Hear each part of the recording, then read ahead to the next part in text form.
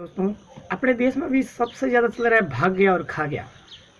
यानी लोन लिया, खा गया और यहाँ से भाग गया। आरोप लगते हैं कि नरेंद्र मोदी ने भगा दिया।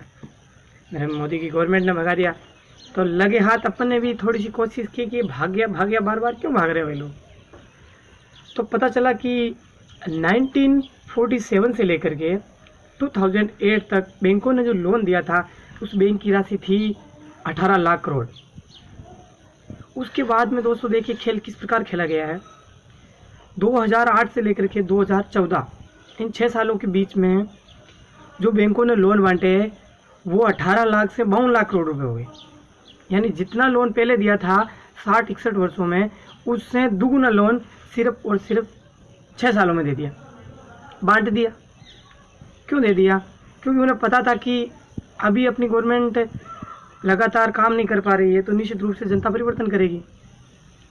और किसी दूसरी पार्टी की गवर्नमेंट आएगी तो आए उससे पहले उसको खड्डे में डाल देते ताकि वो पाँच वर्ष, दस वर्ष जितना भी रहे, वो काम नहीं कर पाए देश के अंदर। और हम ही फिर माहौल बनाएँगे उसी गवर्नमेंट के खिलाफ। तो ये एक कुछ चक्कर रचा गया है दोस्तों। एक बार आप विचार कीजिए 18 लाख से बावन लाख करोड़ रुपए सिर्फ़ छः साल में बांट दिए। और ये पैसे कैसे मिलते थे? किसी नामदार का बैंक के पास फ़ोन आया। फ़ोन आने के बाद में बैंक ये नहीं देखती थी, इसके पास क्या क्वालिफिकेशन है, इसको डॉक्यूमेंट पूरे है क्या, सब कुछ पूरा है क्या, ये वापस अपना लोन कैसे चुकाएगी?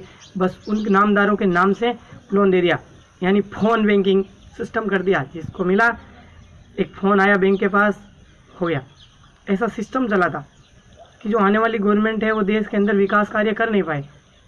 तो एक बार विचार कीजिए, बार बार ये आरोप लगते हैं कि नरेंद्र मोदी चोर है, नरेंद्र मोदी पैसा खा गया। आप अपने मन में झाँक के देखिए। आपको लगता है कि ये नरेंद्र मोदी चोर हो सकता है।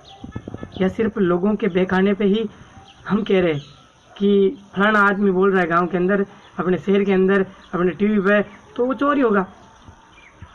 या खुद कुछ निष्कर्ष निकाला है कि मैंने देखा है, ये चोरी इन्होंने की है।